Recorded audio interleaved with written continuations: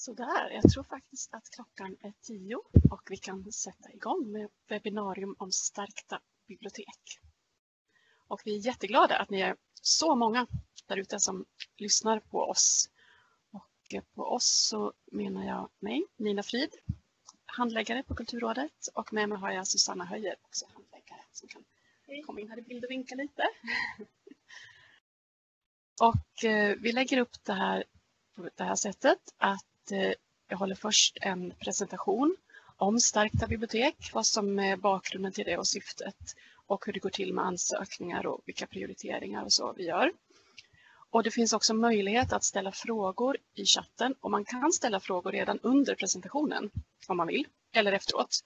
Vi svarar på frågorna efter presentationen. Och eh, det kan ju tänkas att vi får fler frågor än vad vi hinner svara på.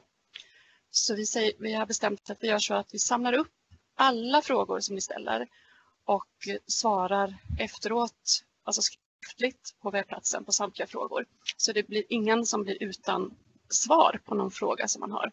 Och ehm, skulle man ändå känna att man inte har fått svar på sin fråga så kan man också kontakta oss förstås och få hjälp att svara på frågor. Ja, stärkta bibliotek eller biblioteksmiljonerna som vi har hört att det också kallas. Regeringen gav uppdrag till Kulturrådet att fördela 225 miljoner per år i, under tre år för att öka utbudet och tillgängligheten till biblioteksverksamhet i hela landet. Med syfte då alltså att nå fler, att få biblioteket relevant för fler. Och det är ett tillfälligt stöd, tre år, men förväntas då ha långsiktiga effekter. Och i det uppdrag som vi också har fått då, så står det att vi ska samarbeta med Kungliga biblioteket och med den nationella biblioteksstrategin. Och eh, det gör vi på det sättet att nu under, vi har tagit fram då sån här utlysningstext för eh, för Stärkta bibliotek så har KB funnits med också och naturligtvis så är vi jättenyfikna på den nationella biblioteksstrategin och eh, förväntar oss att den ju också kommer påverka säkert eh, det här stödet framöver. På samma sätt som vi tänker också att, att Stärkta bibliotek faktiskt kan eh, vara Alltså att det kan vara till hjälp också för den nationella biblioteksstrategin. För eftersom det här riktar sig till hela landet och att det är kommunerna som kan söka så blir det också en tydlig bild över vilka behov som finns i kommunerna för att eh, uppfylla bibliotekslagen och för att vara starka bibliotek i hela landet.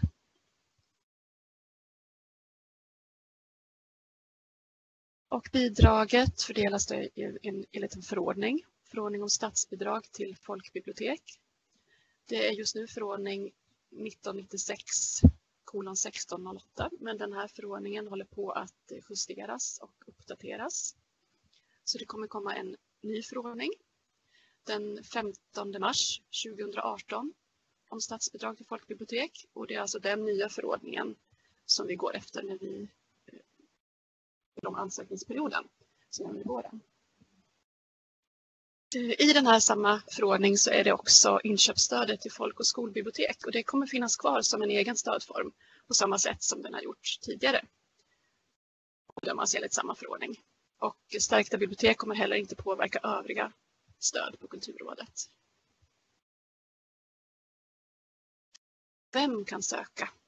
Ja, enligt förordningen så är det kommuner som kan söka en, antingen en kommun eller enskilt eller flera kommuner i partnerskap med en huvudsökande. Så flera kommuner kan alltså gå samman om en ansökan och en satsning. Regioner kan däremot inte söka. Däremot så i det här stärkta bibliotek så är det 25 miljoner av de 250 miljonerna som var från början då, som har gått in i kultursamverkansmodellen. Väldigt dåligt provar. Vi har fått kommentarer om att det hörs dåligt. Så jag gör väl så här istället.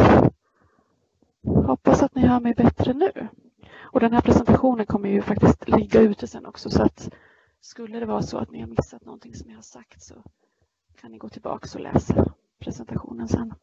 Det mesta står också i utlysningstexten på webbplats och informationstexten. Eh, vi har fått frågan ifall folkbiblioteken själva kan söka och eh, det ser lite olika ut. Om man har rätt att vara firmatecknare som det heter för kommunen, alltså beroende på hur kommunens delegationsordning ser ut, så kan det vara så att folkbibliotek kan söka. Det beror lite på, man kan tänka att det är ungefär som inköpsstödet, att samma, på samma sätt som man har sökt inköpsstöd, för det är enligt samma förordning. Eh, I vem som kan söka också så är det så att det finns ett krav förstås på att ha en biblioteksplan. Det gäller också för inköpsstödet.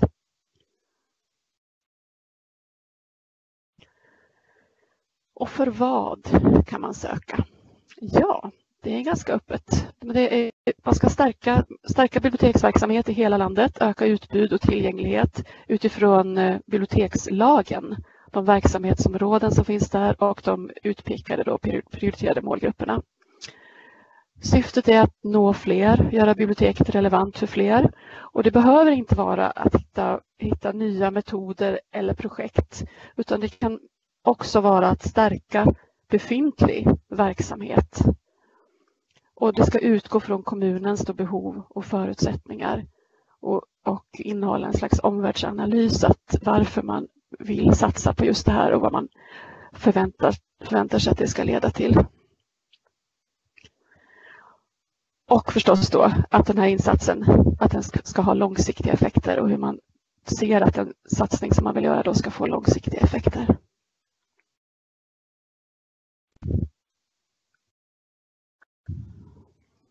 Är det så att bilderna inte har bytts? Har vi fått en kommentar henne? Att bilderna inte bytts i PowerPoint-presentationen? Blir det sämre när jag sätter på mig den? Nej, men alltså det här var krångligt. Bilderna har inte bytts och ljudet har blivit sämre. Ja, men vad gör vi då? då? Vi, vi tar lite teknikhjälp.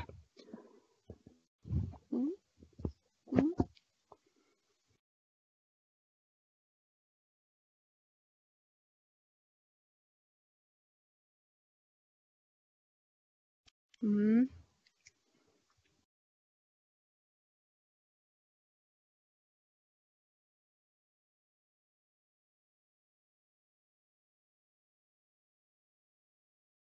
Betyder det att vi kanske måste börja om med bilderna här rent av? Eller?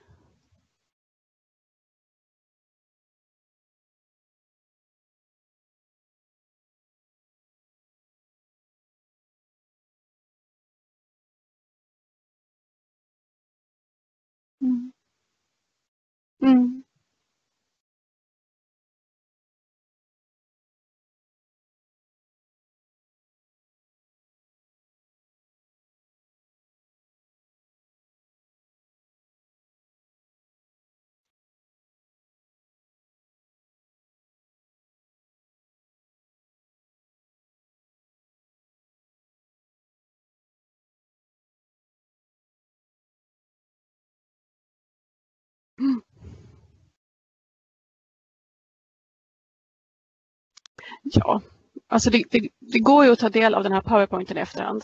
Eh, kanske vi ska fokusera istället på frågor.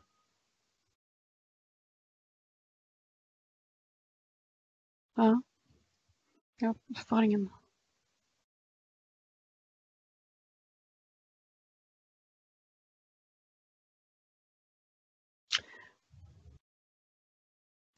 Jag tror, jag tror att jag pratar bara utan bild så länge i alla fall och säger då att på den här frågan att vad, vad kan man söka för? Att det är väldigt, väldigt öppet, att det ska utgå ifrån kommunens behov för att uppfylla bibliotekslagen och för att nå fler och prioriterade målgrupper.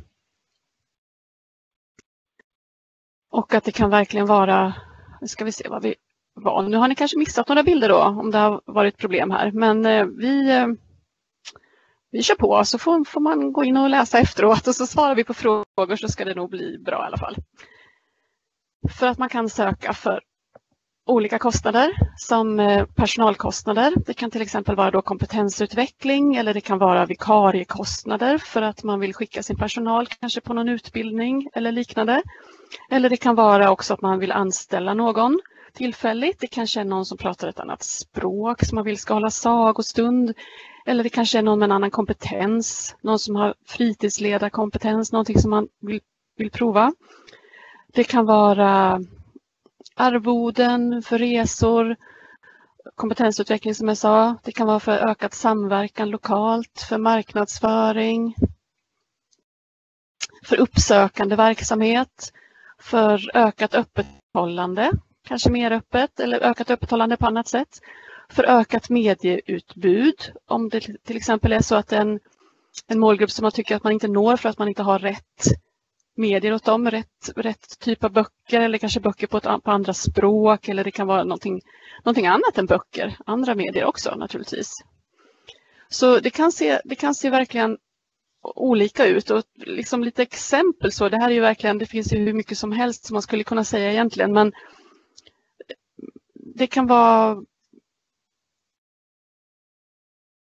allt från egentligen en, eh, att köpa en bokbuss till att anställa någon som håller sagor på, eller vill hålla sagostunder på arabiska till, eh, till det som man känner att man har störst behov av och skulle fungera bäst för att nå de man inte når idag och ge just ökat utbud och tillgänglighet för fler.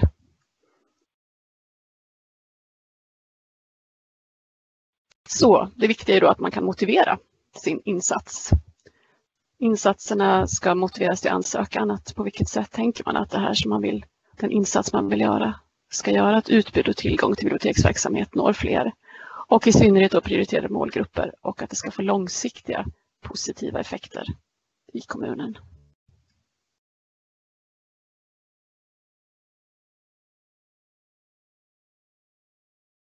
Mm. Nu vill vi ha era frågor för det är det, som är, det är det som är viktigast här i webbinariet för att all andra informationen kan ni egentligen läsa i efterhand i powerpointen och också på vår webbplats och i utlysningstexten.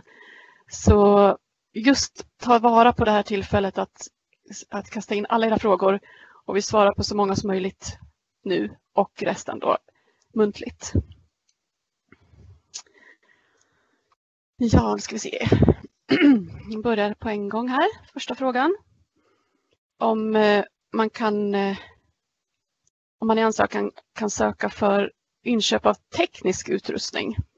För Makerspace, för Skaparbibla, för whiteboard, podcastutrustning, redigeringsprogram, datorer. Ehm, ja, alltså man kan ju söka för medier för att nå nya målgrupper och vara relevant för fler. Så eh, i allting, alltså som sagt, det är ju det här att, att allting ska utgå från det här att göra biblioteksverksamheten och utbudet tillgängligt för fler. Ska se, vad står det mer? Eh, kan man söka för personal? Ja, det kan man. Utrustning? Ja. Medier? Ja. Marknadsföring? Ja. Du ser, det är, ganska, det är verkligen väldigt öppet. Men då Eh, grundat på bibliotekslagen, prioriterade målgrupper, relevant för fler, hela landet och långsiktiga effekter. Okej, nu ska vi se en fråga till här. Hur förhåller sig de här pengarna till den stora nationella biblioteksstrategin? Pengarna kommer innan strategin som ska tala om för oss vad vi ska göra är klar. Hur förhåller sig stärkta biblioteken och strategin till varandra och kommer detta i värsta fall innebära mindre pengar till att förverkliga strategin sedan? Eh, ja, alltså just det kan vi ju inte svara på. Däremot kan vi säga att, att eh, det förhåller sig till den nationella biblioteksstrategin på så sätt att vi har ett nära samarbete med KB och att vi tror att de kommer också kunna påverka varandra faktiskt, de här satsningarna. Att också den nationella biblioteksstrategin kan dra nytta av eh, alla dessa kommuners ansökningar som visar vilka behov som finns på folkbiblioteken i kommunerna. Att den kunskapen också kan vara relevant för den nationella biblioteksstrategin. Eh, jaha, nästa fråga. Kommer det vara möjligt att söka medel för flera år på en gång? Eh, nej och ja, eller jag menar man kommer, man kommer kunna ange att man planerar en tvåårig eller treårig satsning. Men däremot så måste man lämna in en ny ansökan varje år för vi har bara möjlighet att, att fördela medel ett år i taget. Så att man kan planera långsiktigt men man måste ändå söka för ett år i taget varje år. Mm. Och sen har vi en fråga här. Kan medlen användas till tillfälliga anställningar, inventarier, medieinköp etc? Ja, det kan de. Som sagt, igen. Eh, Tv-spel, mobilspel och datorspel är en stor del av barns och ungas kultur idag och ett område där det finns risk för klyftor på grund av olika hemförhållanden. Barn vars föräldrar inte har råd att köpa tv-spel riskerar att hamna i ett kulturellt utanförskap. Och biblioteken kan spela en roll i att motverka sådana klyftor. Finns det möjlighet att söka stöd till det? Jo, men medieinköp finns det möjlighet att söka, söka till. Och barn och unga är ju faktiskt en prioriterad målgrupp också i bibliotekslagen. Ja, ska vi se. Har du några mer frågor här som redan har hunnit in? Jag här är en till fråga om barn faktiskt. Just det, hur är det med stärkta barnbibliotek? Hur gör man barnens plats och utrymme i biblioteket lika viktigt som för vuxna? Eh, jo men självklart, alltså som sagt barn och unga är ju en prioriterad målgrupp i bibliotekslagen. Så självklart kan man söka för att göra insatser riktade till barn och unga. Mm -hmm. Många, många frågor. Oj. Eh, vi, tar, vi tar bara betar av så vi ser hur många vi hinner. Om man söker och får pengar nu, har man möjlighet att söka igen för något annat nästa år? Ja, det har man. Det var ett snabbt svar. ja. När kommer beslut-besked om att man får bidrag? Vi har ansökningsperioden är mellan den 15 mars till den 12 april. Jag tror faktiskt att jag tog en bild på det här för att... Nej. Och här är kontakter då ifall ni inte får svar på era frågor så har ni det här. Den där ska vara sista bilden. Ah, ja. Eh, men då, eh, ansökningsperioden är mellan den 15 mars och den 12 april. Och sen brukar man räkna med två månaders handläggning. Det kan ju bli lite mindre också. Men, eh, så före sommaren får man, har man fått besked. Om man nu söker i vår. Däremot, alltså om man söker, det finns ju också en ansökningsomgång i höst. Och den är augusti till mitten på september. Så då blir det två månader efter det då, november. Kan man skicka in flera olika ansökningar för olika målgrupper? Kan man beviljas medel för olika projekt? Ja, det kan man. Det kan man. Det är klart att vi önskar att kommunen ska ha en slags samlad bild av eh, de behov man har och har gjort en liksom behovsanalys, en omvärldsanalys som gäller för alla kommunens bibliotek. Eh, men om det är så att man vill göra olika insatser som är så pass olika och riktar sig till så pass olika målgrupper att man tycker att det blir tydligare att göra två olika ansökningar så, så är det faktiskt helt okej att göra det. Det finns ingenting som, som hindrar det.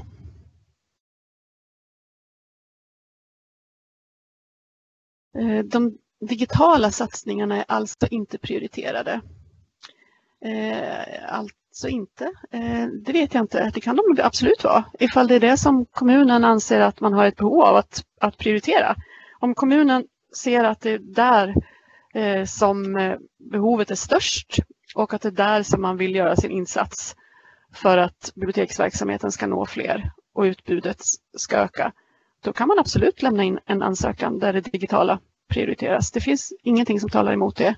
Det kan ju vara, det kan ju vara digitalt både för läsfrämjande och för informationssökning och för allt, allt det som står nämnt i bibliotekslagen. Kan flera kommuner söka tillsammans? Ja, Det kan de. Man kan söka i partnerskap. Det måste vara en kommun som är huvudsökande. Men sen kan det faktiskt i själva verket vara hur många kommuner som helst som kan söka i partnerskap med den huvudsökande kommunen. Det skulle till och med kunna vara så att alla kommuner går samman och lämnar in en gemensam ansökan om man skulle tycka att det är det eh, som eh, är det bästa sättet att stärka biblioteken. Finns det ett maxbelopp för ansökan? Nej. Budgeten ska ju naturligtvis verka rimlig. Hur säkerställer man att de små kommunerna med inte så mycket resurser och de som behöver det mest söker? Mm, det där är ju faktiskt en jättestor utmaning. Och det, är ju, det är ju kommuner som kan söka men däremot så uppmuntrar vi ju att regionerna finns med som stöd i det här arbetet. Och också de som har en överblick över kanske alla samtliga kommuner då i regionerna. Och eh, de regionbiblioteken, eller regionerna, har fått också del av de här pengarna för stärkta bibliotek. 25 miljoner fördelade. Och jag vet i alla fall att några regioner eller regionbibliotek kommer just använda dem, för den förstärkningen då till att hjälpa kommunerna och samordna eller att ge stöd i, i sån här ansökan. Hur mycket pengar kan ett bibliotek eller ett samarbete mellan bibliotek få vid ett tillfälle? Kan ett bibliotek eller samarbete söka och få pengar både år ett och två och tre? Eh, ja, man kan, man kan söka både och få både ett och två och tre. Och eh, som sagt, vi har ju inte någon maxgräns så för vad man kan söka.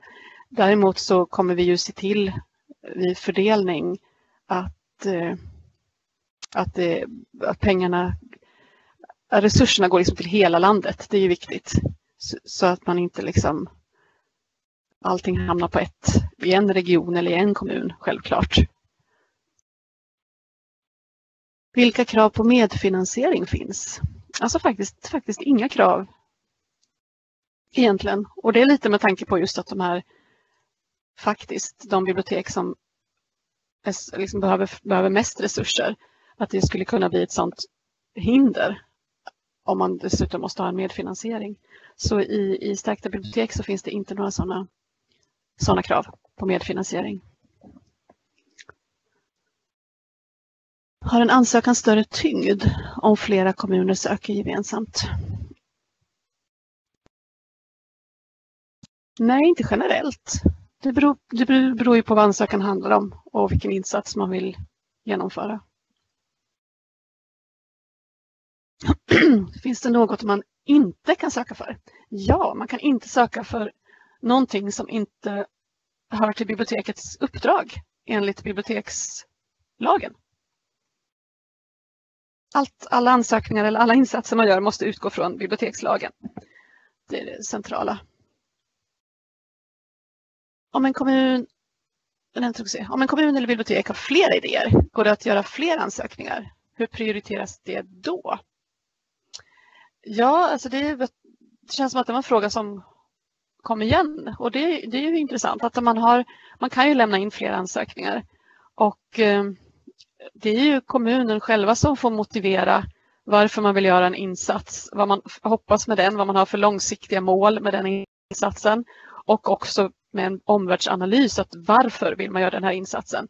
Vad är det man har sett? Vilka, liksom, vilka behov är det man ser att man behöver? Man, liksom, vilken förstärkning behöver man göra utifrån kommunens behov? Och det är ju den prioriteringen vi gör också i själva bedömningen av ansökningar. Så att om kommunen själva tycker att en insats faktiskt är mera, den här insatsen har vi mer behov av i kommunen än den här, då är det väl eh, rimligt att det är den ansökan som man har störst behov av som man skickar in.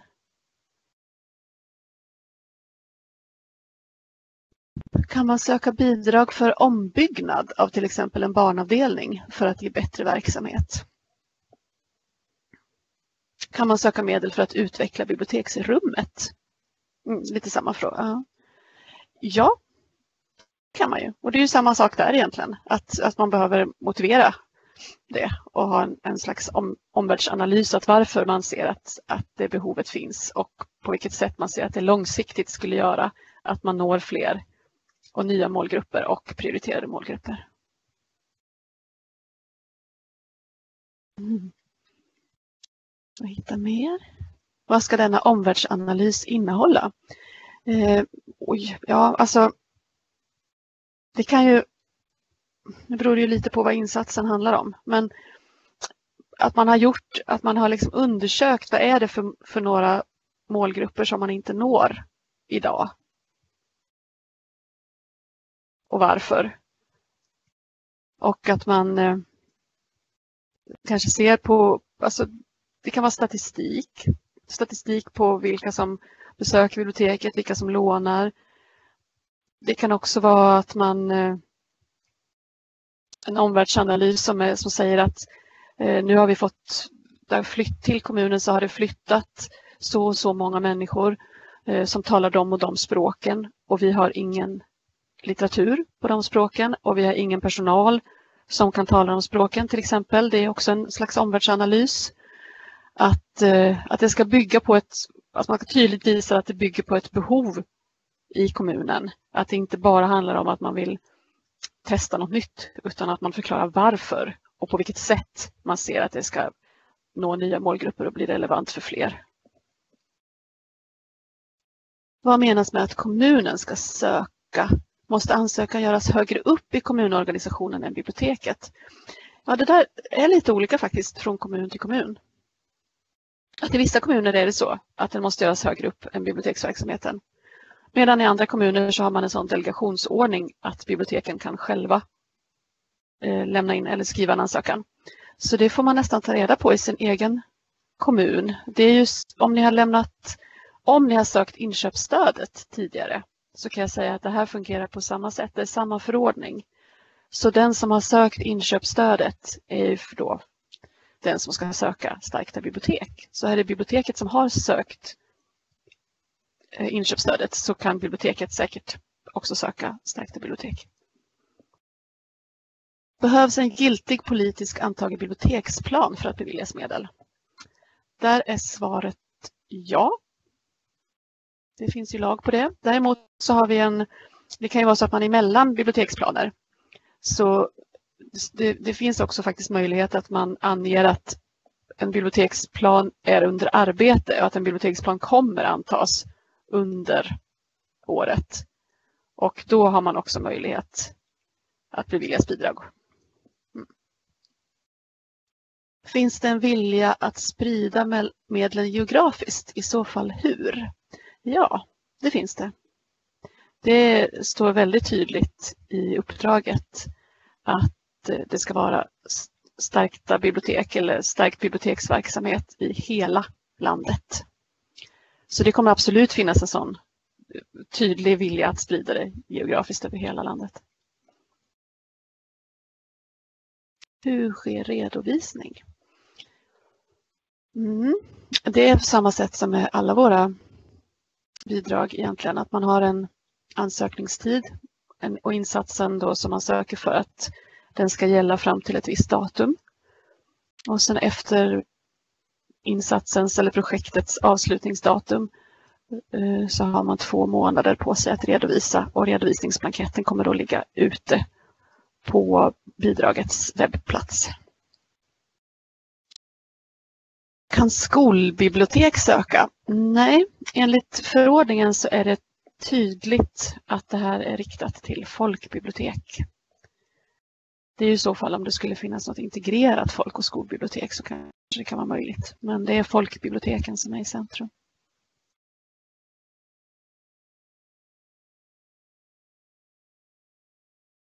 Kan man söka pengar till till exempel cineasterna? Så så. Eller e-böcker? Ja, man kan söka pengar för ökat medieutbud om man motiverar då på samma sätt som med att man når fler och varför man tycker att det är just den insatsen som man ser att, att eh, kommunerna har starkast behov av.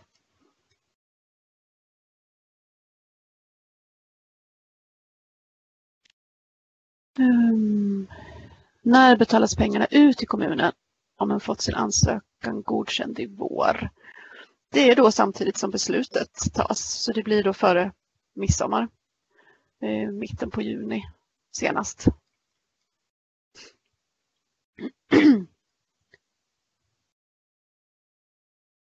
Kan man söka igen med samma projekt till hösten om man inte får medel den första omgången? Ja, det kan man väl, men om man inte har fått det första gången så låter det inte så sannolikt att man får det andra gången heller. Eh, så att eh, då måste vi nog, då vill vi nog gärna se att man har utvecklat sin, sin projektidé eller sin, sin omvärldsanalys eller insats på något vis. Kanske hittat nya samarbetspartner, kanske tänkt ett steg till. Så att lämna in exakt samma ansökan på hösten som man inte fick beviljad på våren, det tror jag inte vi rekommenderar.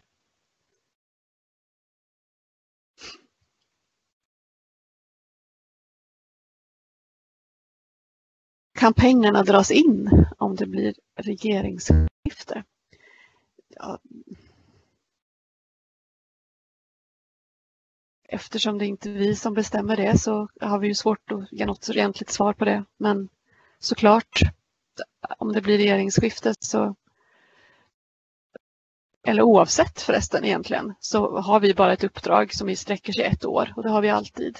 Vi får ett ett eh, regeringsuppdrag varje år och det gäller ett år. Så, så helt säkra kan vi aldrig vara på vad som händer året efter. Och en, ett regeringsskifte är klart att det kan göra det osäkrare men, men det finns ingenting som tyder på eller som gör att vi tror att, det skulle, att pengarna skulle dras in.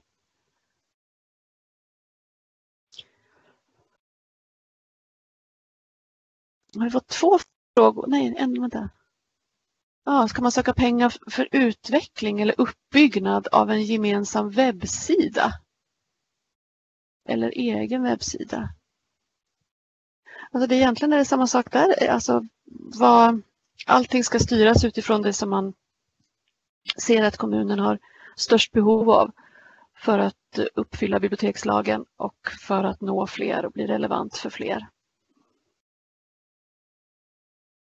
Men det ska rikta sig till folkbibliotek så jag tänker att man kan inte, få, man kan inte söka för att, för att eh, kommunen ska bygga upp en webbplats.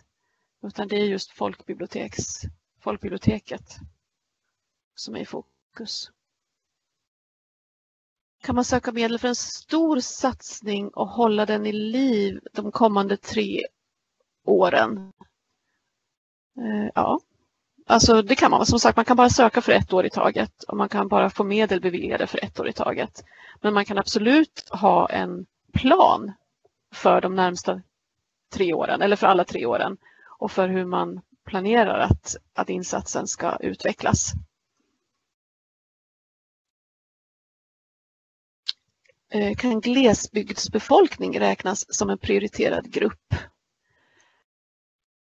alltså glesbygdsbefolkning är ju inte, det är inte, ut, det är inte utpekat som en prioriterad målgrupp i bibliotekslagen. Men däremot förstås om man tänker på att det ska vara stärkta bibliotek i hela landet och eh, att det kan behövas extra resurser och extra insatser just på grund av att det är en glesbygd så kan det absolut vara prioriterat.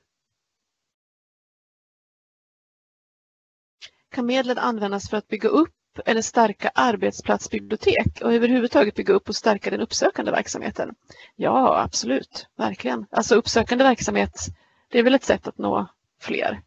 Och arbetsplatsbibliotek i samarbete med alltså folkbiblioteket som en slags uppsökande verksamhet på en arbetsplats är absolut möjligt. Hur ser ni på att största delen används till att anställa personal? just personalresurser är det som jag ser som absolut störst behov av för att kunna förverkliga bibliotekslagen.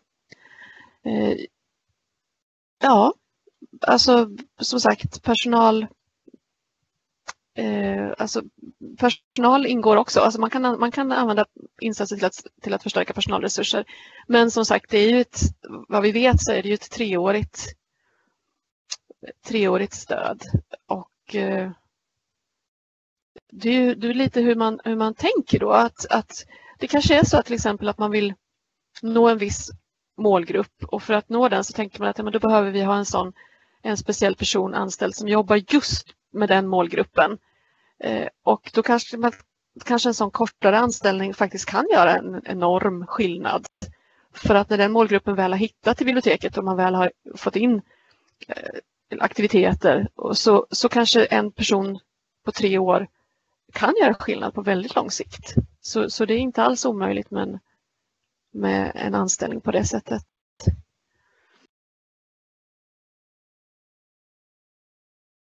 Nu ska vi se. Mm. Kan man söka en projektanställning av bibliotekarie? Ja, det är lite samma sak där egentligen ju. Eh, att det ska, ge, det ska ge effekt på lång sikt men en kortare anställning kan faktiskt ge effekt på lång sikt också om man bara vet varför man gör det, motiverar det och har gjort en omvärldsanalys och, och ser hur, på vilket sätt det kan förstärka långsiktigt. Finns det någon minimisumma för ansökan? Mindre bibliotek behöver inte alltid söka så höga summor. Nej, det finns ingen, finns ingen minimisumma. Mm. Mm. Hur ställer sig chanserna att erhålla medel om samma kommun är involverad i fler ansökningar?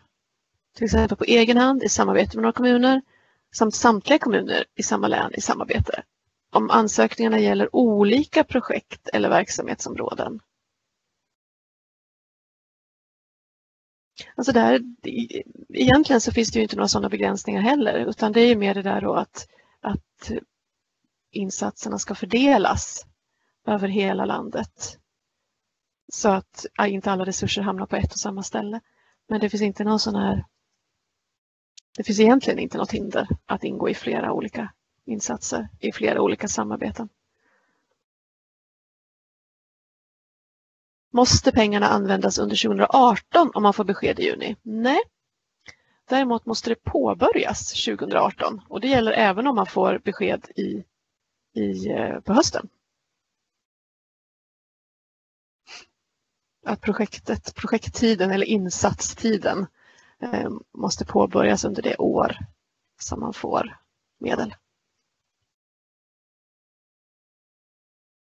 Kan två kommuner söka pengar för utbyte av en gemensam befintlig bokbuss? Ja, absolut.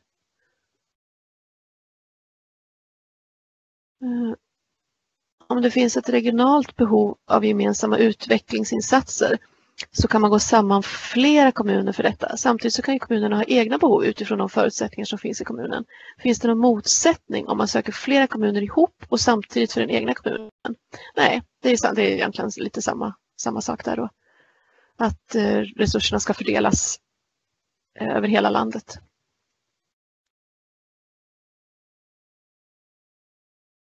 I ansökan står att Oj, ansökan står att man ska beskriva hur insatserna ska integrera ett jämställdhets-, hbtq-, mångfalds och interkulturellt perspektiv. Hur man ska arbeta med att säkerställa tillgängligheten för personer med funktionsnedsättning. Kommer det att prioritera ansökningar som riktar sig till flera av dessa målgrupper på samma gång eller har det mindre betydelse? Ett litet bibliotek har troligtvis inte möjligheten att arbeta med flera målgrupper samtidigt. Nej, alltså det förstår vi. Eh, och det är ju, finns inte några, den där, det är en fråga som ingår i alla, alla ansökningar och det är ju prioriterat att man ska arbeta med de tvärperspektiven men det behöver man inte göra, man behöver inte arbeta med alla samtidigt i alla insatser. Det finns absolut inget krav på det. Är potten lika stor varje år eller kan pengarna ta slut? Eh, det är 225 miljoner varje år i tre år. Och vi hoppas ju förstås att pengarna tar slut när, när andra projekt eller liksom projektomgången har varit. Det är ju meningen att de här pengarna ska ut till kommunerna. Allihop, varenda öre. Kan man söka för chippning av böcker och utrustning för mer öppet? Ja, om man motiverar det på samma sätt då som igen då med att på vilket sätt det hjälper att nå fler och ge biblioteksverksamhet tillgängligt för fler så, så kan man absolut det. kan man söka för samverkan mellan förskolan för språk och läsutveckling där folkbiblioteket är huvudman. Ja, det kan man och man kan dessutom faktiskt då söka bokstart vilket låter nästan ännu mera eh, givet för ett sådant projekt. Eh, bokstart är ju, handlar precis just om det, att folkbiblioteket är huvudsökande och eh, i samarbete med förskola och PVC eller förskola och PVC eh, kan eh, sätta upp så här bokstartsatsning som handlar om läs alltså och språkutveckling för små barn. Eh, men man kan också söka Stärkta bibliotek och man kan ju också söka för andra satsningar för, som gäller för små barn eller för barn och unga överhuvudtaget.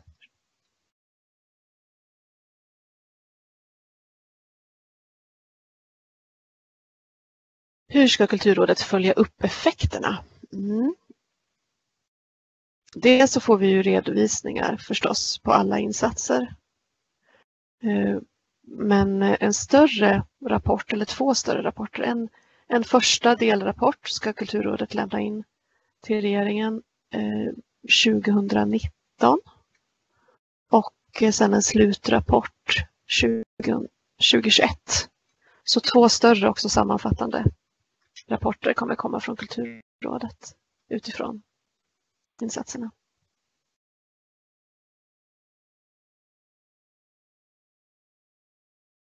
Om ni får fler ansökningar än medlen räcker till, avslår ni ansökningar och ger de medel som sökts för eller ger ni lägre summor procentsats än vad som ansökts för? Det är nog väldigt svårt att svara något generellt på det. Det kan bli både och.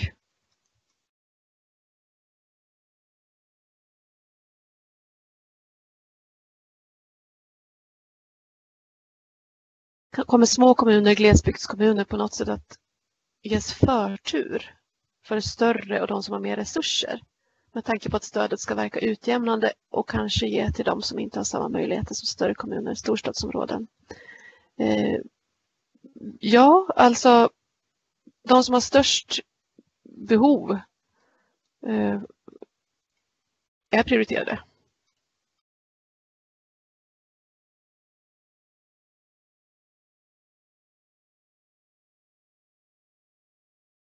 Sen kan det ju finnas att man har, alltså även en stor kommun eh, kan ju ha stora behov att nå en speciell målgrupp. Eller att, eller att ha ett område eh, där, man inte når. Så att det, det går inte självklart att säga så att det bara är små kommuner och, och glesbygdskommuner som går, i, som går före.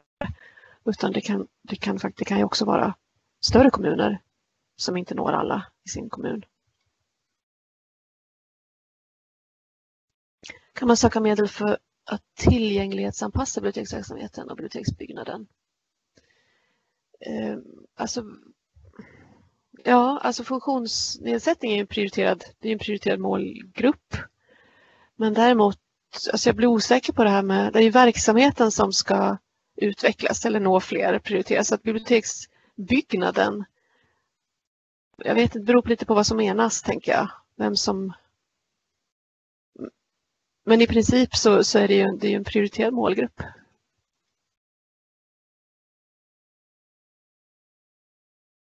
Hinner vi inte ansöka i vår så går det att ansöka i höst. När betalas pengarna ut i så fall? Ja, det går att ansöka i höst. Det är mellan augusti och september och pengarna kommer då delas ut i november.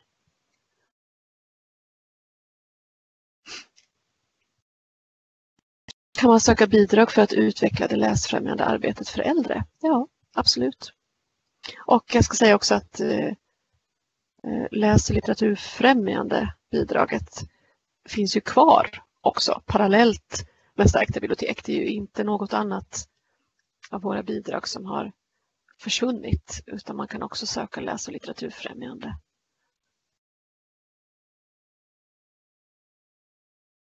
Eh, har det betydelse om samarbetande kommunerna ligger i samma eller olika län? Nej, för, för, det, för vår del har det ingen betydelse.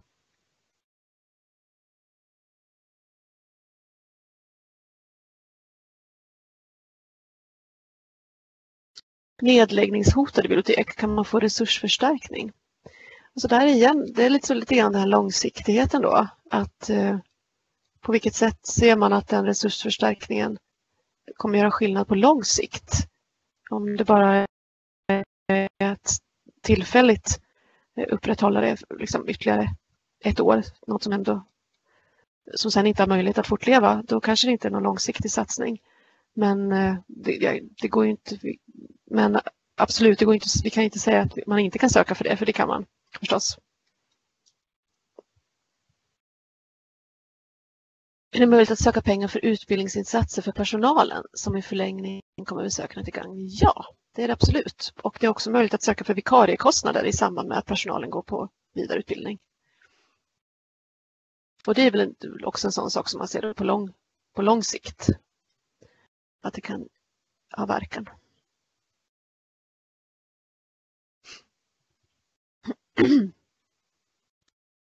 Eh, kan man söka ett samarbete med biblioteket, sportanläggningar, fritidsgårdar och föreningar där vi arbetar med hbtq-frågan. Eh, ja, då är det biblioteket som får göra ansökan för att i förordningen så är det endast kommuner eh, som kan söka och det ska vara riktat till folkbibliotek. Däremot så ser vi positivt på att om folkbiblioteket samarbetar med andra lokala aktörer.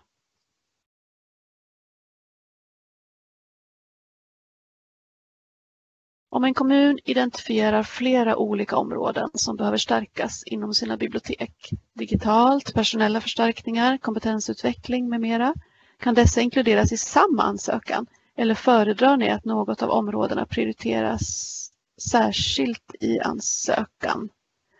De kan sökas i samma ansökan.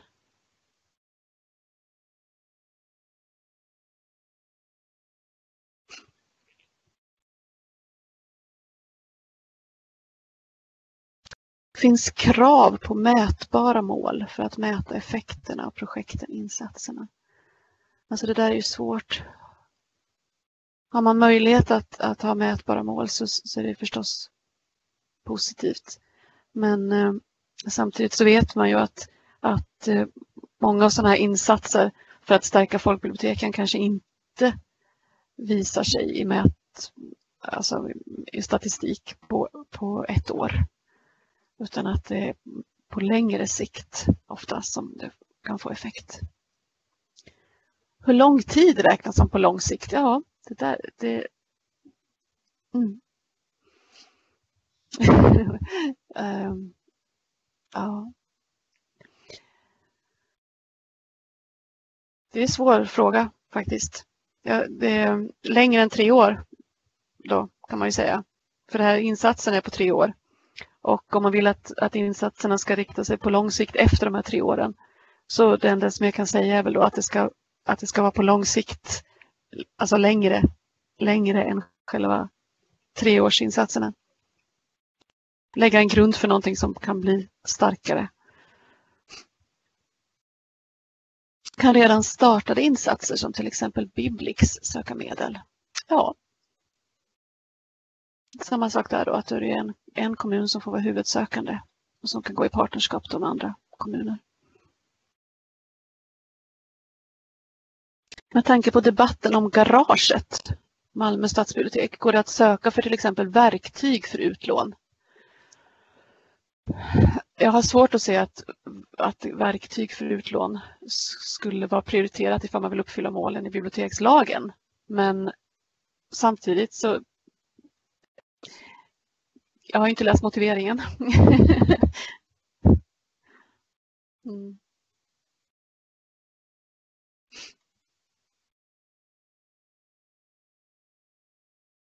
Vilken data utanför ansökningen använder ni för att säkerställa att medlen verkar utjämnande i landet? Det är ju en grannlaga uppgift eftersom det finns många parametrar att ta hänsyn till vid fördelning för att verka utjämnande i hela landet.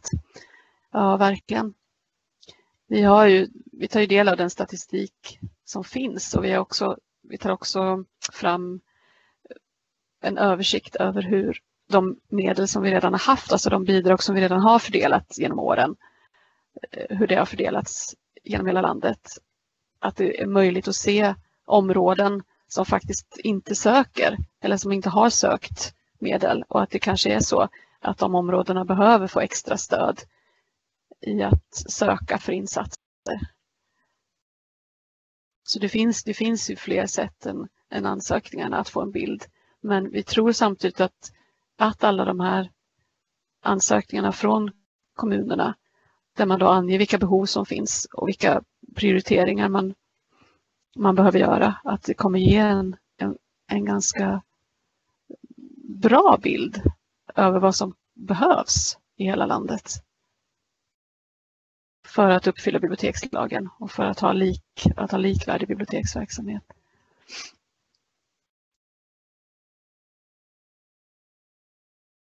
Mm -hmm. Om man kan söka även i höst betyder det att hälften av de 225 miljonerna sparas till hösten. Ja, alltså då törs jag inte svara att det blir hälften exakt på kronan, men i, i princip, ja. Det är inte så att vi kommer inte stå med några pengar i höst utan det, det kommer fördelas jämnt.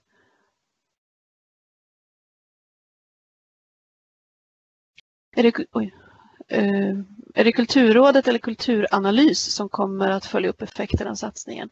Alltså de, de, rapporterna som jag nämnde, det är Kulturrådet som kommer lämna in. Vad, vad som i övrigt kommer göras för analyser, det är ingenting som vi känner till nu.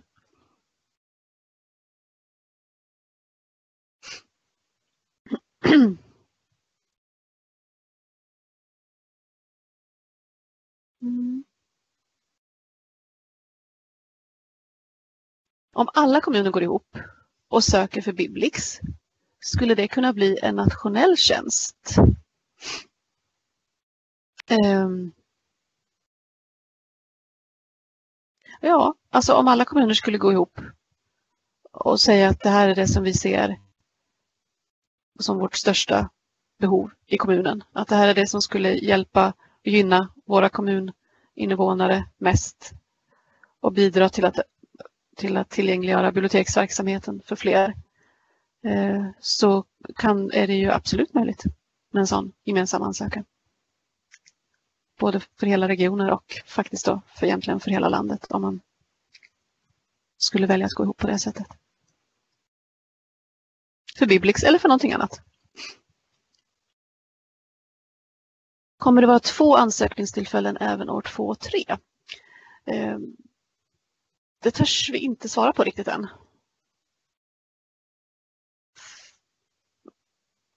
Förmodligen kommer, kommer vi välja att ha en, ett ansökningstillfälle. Men eh, det är inte helt klart. Hur prioriteras ansökningar från kommuner som samarbetar i relation till enstaka ansökningar från en kommun? Mm. Det skulle jag också säga att det beror, lite, det beror faktiskt lite på vad det är man vill göra. Att vissa saker, kanske vissa insatser, kanske faktiskt görs bättre eh, än kommun. Eh, och vissa insatser görs bättre i samverkan. Så det finns inget generellt svar på den. Om ni får in jättemånga ansökningar i vår så sparar ni ändå cirka hälften till höst. Ja.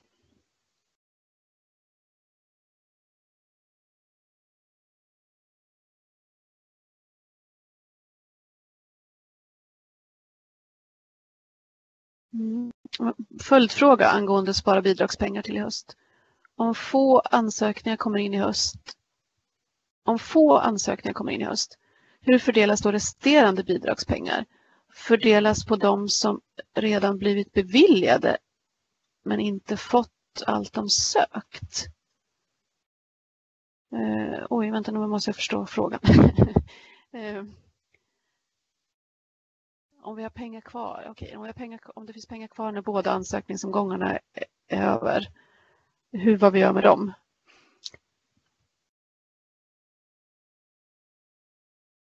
Det kan vi inte riktigt svara på nu. Nej, det får vi återkomma till.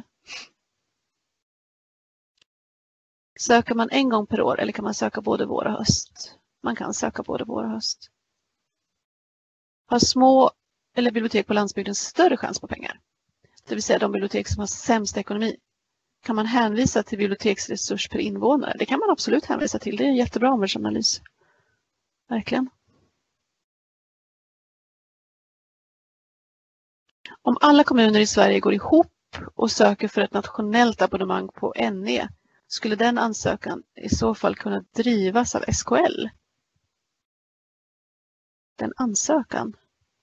Men den får vi också återkomma till. Jag är inte riktigt säker på att jag förstår.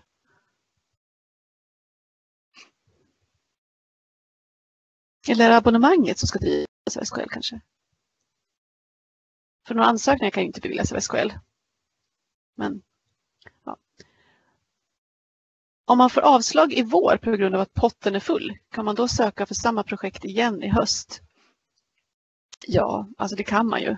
Men ofta är det väl så att om ett projekt har fått avslag och man söker igen så vill man gärna se att, att någonting har förändrats mellan de olika ansökningstillfällena.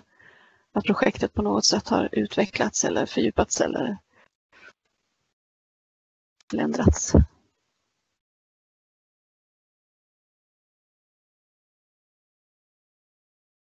Mm. Nu är det inte så mycket tid kvar så jag kanske ska avrunda istället för att svara på fler nu. jag tror att vi har en del frågor som inte har hunnit, som inte fick svar. Och eh, det finns kanske också en del frågor som fick svar men där man gärna vill ha svaret i skrift. Att man gärna vill komma ihåg vad var, vad var det nu igen som, som hon sa. Så att eh, vi kommer göra så här att alla frågor som ni har skickat in, Eh, 186 stycken tror jag. Ja. Eh, de kommer vi samla upp och sen så kommer vi skriva svar på samtliga. Också de som vi nu har varit sådär lite, det får vi kolla upp eller det vet vi inte nu och så, kommer vi också ge kanske lite utförligare svar på. Så ja, och webbinariet kan man se i efterhand. Det kommer läggas ut och då kan man också se den här PowerPoint-presentationen som krånglade lite i början så att alla bilderna kommer med. Och man kommer också kunna höra på det här då, fråga-svar-delen. Eh, och samtliga frågor som vi har fått in kommer finnas med svar på vår webbplats där Stärkta bibliotek ligger under nästa vecka kommer det komma upp. Eh, och är det fortfarande så att, att man tycker att nej men jag har inte fått svar på min fråga eller, eller man kommer på ytterligare frågor nu i efterhand så man, kan man jättegärna kontakta antingen mig eller Susanna Höjer så svarar vi gärna på dem.